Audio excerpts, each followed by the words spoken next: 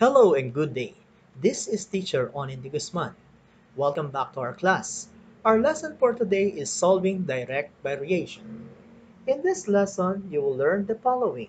Number one, illustrate situations that involve direct variation. Number two, translate into variation statement a relationship between direct variation between two quantities given by table values, a mathematical equation, a graph, and vice versa. Finally, solve problems involving direct variations.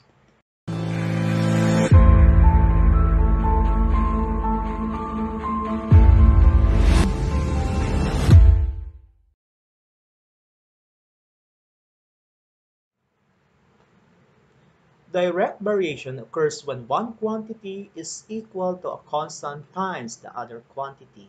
In symbol, we can rewrite this one as y is equal to k times x, where k is y over x is the constant of variation. Sometimes we call this one as constant of proportionality. And we can express this as y that is directly as x y is directly proportional to x or y is proportional to x. Let's have the following example. So n is directly proportional to j. I can rewrite this one as n is equal to k times j where k is equal to n over j. Another example is the circumference c of a circle varies directly as the length of its diameter d. In symbol, C is equal to K times D, where K is equal to C all over And lastly, the cos H of fish varies directly as the number P of kilos bought. In symbol, I can rewrite this one as H is equal to K times P, where K is equal to H over P. So let's move on to the first problem. If y varies directly as x and y is equal to 48, when x is equal to 16, find the constant of variation and equation. First, let's list down the given. So we have y is equal to 48, then x is equal to 16. First, we want to find out the constant of variation. Now, in order to find the constant of variation, so let's have letter A.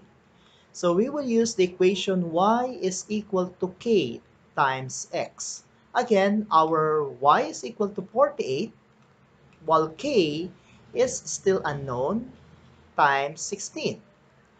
To get the value of k, divide both sides of the equation by 16. So k is equal to 3. So this is the constant of variation. Next, letter B. We want to find out the equation of direct variation. So again, let's use the equation y is equal to k times x. Take note that k is equal to 3. So let's substitute that. So 3 times x. So this is equal to y. So therefore, the equation of the direct variation is equal to y is equal to 3 times x. So let us consider problem number 2. The table shows a relation between the distance in kilometer and in time in hour. Find the constant of variation and equation which describe the relation. Observe that the table, we have independent variable t and the dependent variable d. Similarly, if we will use the direct variation equation of y is equal to k times x, wherein x is the independent variable, y is the dependent variable.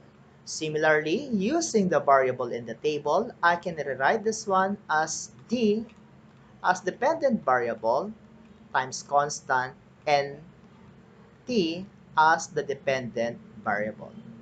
Okay, to solve for the constant of the variation, I can divide both sides by t. So, k is equal to d over t. Now, If we will use the values in the table, I can have here k is equal to 80 over 1, which is equal to 80. Also, if I have 160 over 2, so this is also 80, which is the value of your k. Also, k, I can use also the values 240 over 3, this is also 80. Also, if I have 320 over 4, so this is also 80. Finally, k is the same as 400 over 5 is equal to 80. So therefore, since we have the same values of k, so therefore, our constant of variation is equal to 80. So this is our letter A. So this is our constant of variation. Next, to find. Okay, the equation that will describe the relation. So distance is equal to k times t.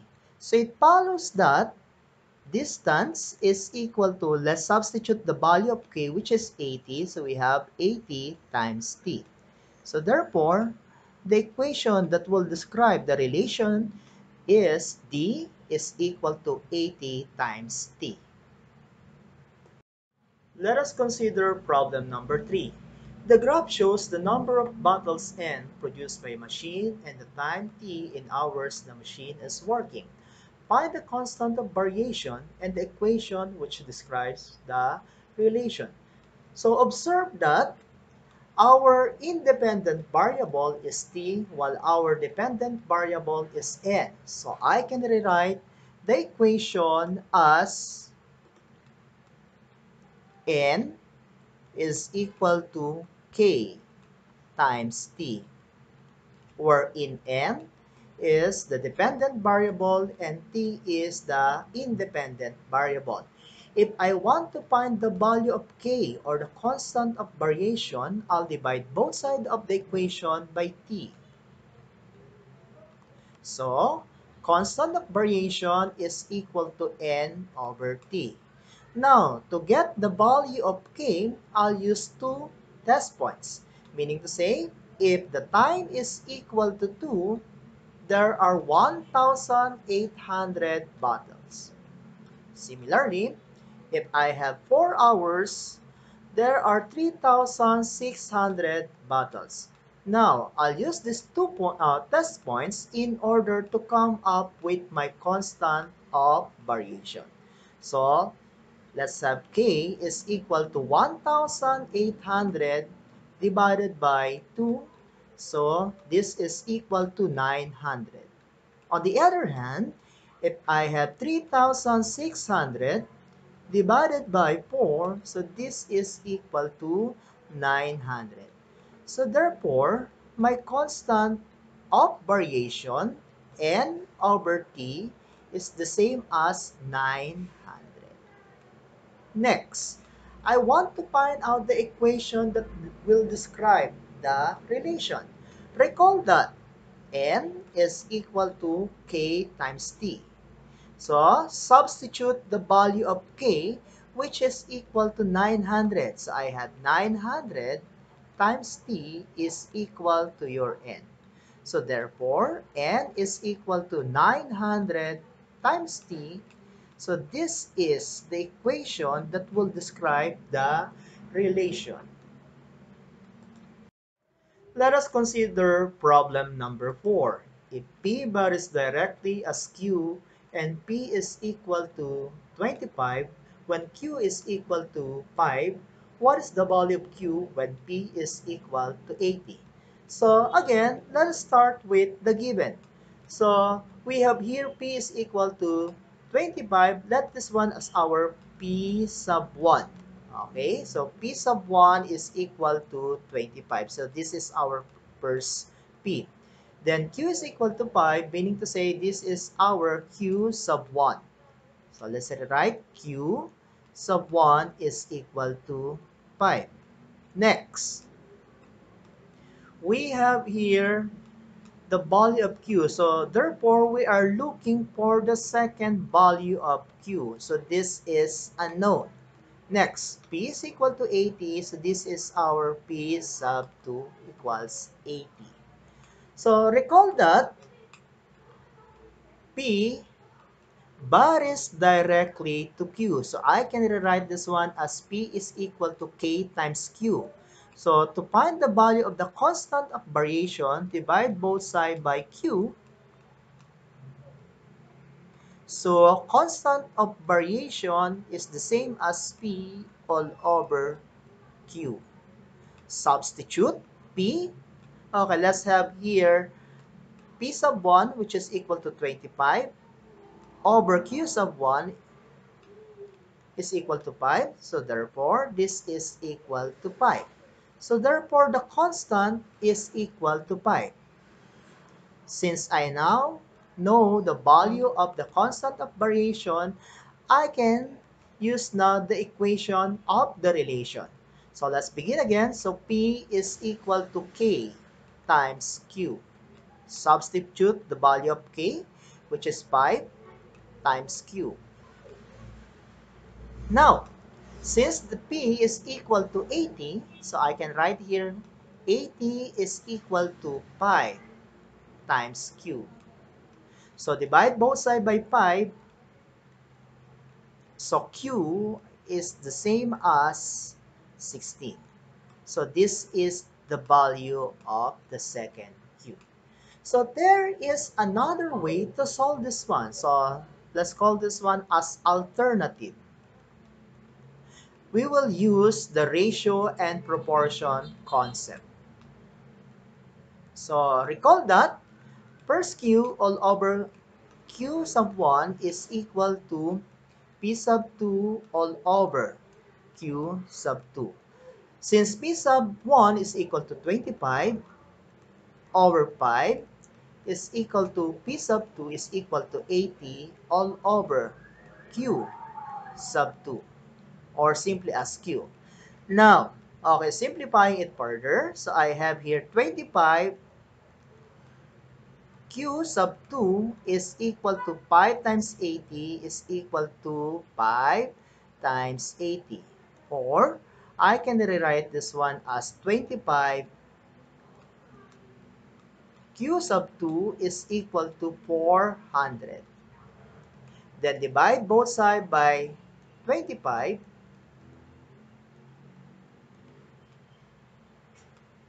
q sub 2 is equal to 16. So therefore, the value of q is equal to 16. Let us now consider problem number 5. The amount of paint P needed to paint the walls of the room varies directly as the area A of the wall. How many gallons of paint is needed to paint a wall with an area of 120 square meters if 2 gallons of paint can cover a 48 square meter wall? So let's start with our equation first. So we have P is equal to K times A since P varies directly to A. Next, so to find the constant of equation, so we divide both sides by A. So, K is equal to P over A. Since we know that the value of okay, K, which is equal to P over A, now let's identify based on the given. So, we can say that, okay, P sub 1 now is equal to, okay, P sub 1 is equal to 2. So we need 2 gallons and our area, area sub 1 is equal to 48. Next, we do not know our P sub 2, but the area given is equal to 120. So let's work on with this. So again, P is equal to 2 over 48 to find the value of our constant of variation, if b is equal to 2 and a is equal to 48. So, solving it further, so k is equal to 2 over 48 or in lowest terms, 1 over 24. So, since we know our constant of variation, then we can use this okay, constant for our okay, equation P is equal to K times A. So we want to find out the equation that will describe the relation. So again, so K is equal to 1 over 24 times A or in simplest form, I can have A over 24 is equal to your P. Now, since I know the value of my A now, which is equal to 120, to find the number of gallons okay, that I need to paint. So again, I have P is equal to A all over 24. Let's substitute the value of A. So A now is equal to 120 divided by 24 so this is equal to 5. So therefore, it needs 5 gallons to paint a 120 square meter wall. So let us consider alternative solution for problem number 5. So what we're going to do, we have here, okay, 120 is our area 1, okay, or A sub 1 since we are looking for the number of gallons to paint, so this is our P sub 1, which is unknown. Next, we have 2 as our P sub 2, which is equal to 2. Then we have A sub 2 is equal to 48. So we can use the ratio and proportion in order to solve this. So I have a sub 1 all over p sub 1 is equal to a sub 2 all over p sub 2. Then, I'll substitute the given values. So, a sub 1 is equal to 120 all over p sub 1 is unknown. So, let's write p sub 1 is equal to 48 all over 2. Using the cross products, so I have 120 times 2. So this is the same as 48 times P sub 1. So 120 times 2 is equal to 240, which is the same as 48 P sub 1. Then divide both sides by 48 So P sub 1 is equal to 5.